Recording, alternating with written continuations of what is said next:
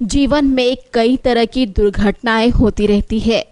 कुछ से शरीर, कुछ से मन तो कुछ से भावनाएँ आहत हो जाती है। शहर में ऐसी ही एक धर्म और धार्मिक भावनाओं को आहत करने वाली दिल दहलाने की खबर सामने आई, जिसमें धार्मिक स्थल की गरिमा को चोट पहुंचाई गई और साथ ही धर्म के देवदूत माने जाने वाले धर्मगुरु के साथ गाली गलोच और मारपीट की गई। यह घटना चोर खिड़की के समीप अशोक नगर स्थित बुद्ध विहार की है। बताया जा रहा है कि बीती रात तकरीबन 10 बजे के दौरान सात से आठ युवक बुद्ध विहार के अंदर धूम्रपान कर रहे थे, जो शराब भी पिए हुए थे। भंते जी ने जब उनका विरोध करना चाहा तो उन लड़कों ने भंते जी के साथ अश्लील गाली गलोच के साथ मारपीट की।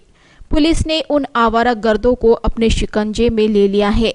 इस घटना को लेकर पूरा बौद्ध समाज इकट्ठा हुआ और समाज का जत्था जिलाधिकारी कार्यालय पर पहुँचा, जहाँ उन्हें इस घटना से अवगत कर चर्चा की गई और आगे इस तरह की घटना न हो, इसलिए जिलाधिकारी से निवेदन किया गया।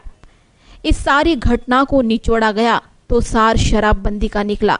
लोगों का कहना है कि अगर शराबबंदी सही मायने में होती तो आज उन आवारा गर्दों ने यह हरकत न की होती और ना ही धार्मिक भावनाएँ आहत होती। भविष्य में इस तरह के कृत न हो, इसलिए शराबबंदी पर विशेष ध्यान देने की ज़रूरत है।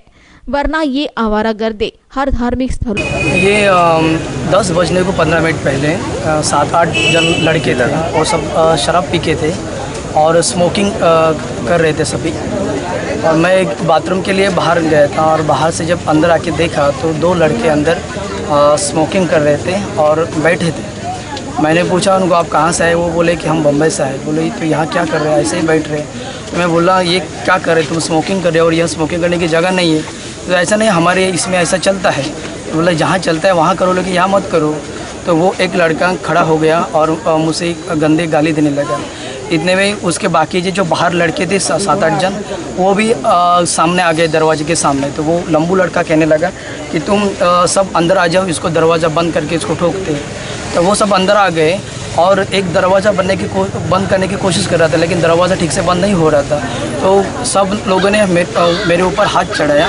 तो मैंने एक एक लड़के को ज़ोर से धक्का मार के दरवाजे से बाहर कर दिया। तो फिर अ, सब लोग इकट्ठा जम गए और मुझे मार थे तो ये सब चंद्रपुर शहर में ये जो स्मोकिंग करना या फिर जो ड्रिंकिंग करके धार्मिक एक किसी भी धार्मिक स्पॉट पर आकर एक धर्मगुरु को मारना किसी भी धर्म का वो धर्मगुरु हो या कोई भी मंदिर हो या विहार हो या मस्जिद हो, ऐसे शराबी लोगों का अंदर आके मारपीट करना धर्मगुरु को ये अच्छी बात नहीं है। और जहाँ तक कहा जाए कि महाराष्ट्र में चंद्रपुर जिला ये दारू से मुक्त किया गया है, ऐसा डिक्लेयर किया है, लेकिन आज अभी भी गली गली में लोग दारू पीते हैं। ये प्रशासन प्रशासन के लिए बहुत शर्म की बात है।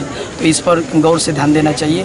आरोपी पकड़ा गया है और उसको संबंधित कार्रवाई की प्रोसेस चालू है। पुलिस लोगों ने एक, मैं एक कोऑपरेशन के लिए मैं थैंक यू कहना चाहता हूँ कि पाँच मिनट के अंदर पुलिस लोगों ने जो अच्छी कार्रवाई की और जो मेन जो आरोपी था उसको पकड़ के लाया। मैं उसको ठीक से जानता हूँ और वो भी सही सही जो बयान दे रहा है। अभी वो उसके बाकी के जो मित्र हैं उनको भी उसके माध्यम से पकड़ा जाने वाले हैं। जिन्होंने जैसा गुना किया, उस गुने से जो संबंधित जो भी कुछ कलम हो उसके अनुसार उनको कार्रवाई होनी चाहिए।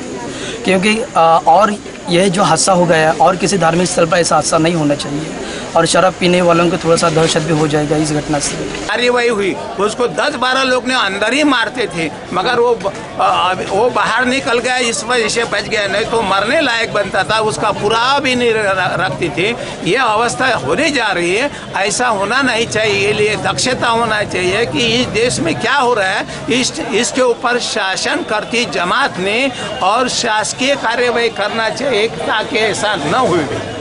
उसके ऊपर बोलेंगे, कल जो बात हो गई है, ऐसी बात होना ही हमारे लिए दुख की बात है, हमारे देश के लिए दुख की बात है, समाज के लिए दुख की बात है, और ये फिर फिर से ऐसा होते रहेगा तो उसके लिए भी हमें सोचना पड़ेगा, क्योंकि आगे के लिए, हमारे लिए भी कुछ कामयाबी बनना पड़ेगा। हम तो शांति प्रिय है, मगर शांति का मतलब ऐसा नहीं है कि आप मार खाते रहो और दूसरे ने मारो।